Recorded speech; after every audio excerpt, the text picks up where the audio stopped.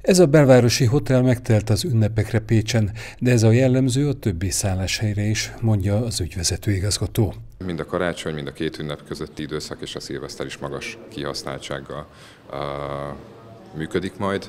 Azt hiszem nem csak nálunk, hanem a városban mindenhol. Szilveszterkor ugye teltház lesz nálunk is. Az ilyenkor szokásos a dísztermünkben gálavacsorával egybekötött ugye zenés táncos mulatságot rendezünk a, a szálló vendégeknek.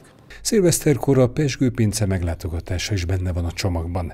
Egy négy tagú családnak azért hat számjegyű számlát jelent, ha ebben a belvárosi szállodában búcsúztatnák az új évet. Két éjszakás tartózkodása, hogyha csak szállásra és reggelire korlátozódik, akkor, akkor nagyságrendileg olyan 100 ezer forint körül költéstől már megvalósítható.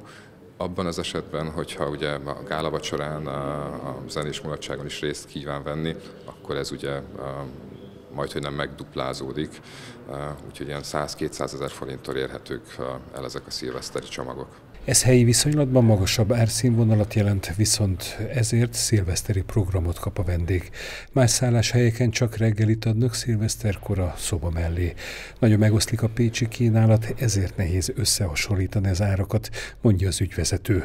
De az biztos, hogy jövőre 15-25 százalékkal nőni fognak a szálloda árak. Ez a magasabb rezsi és bérköltségek miatt alakul így, tudtuk meg a szakembertől.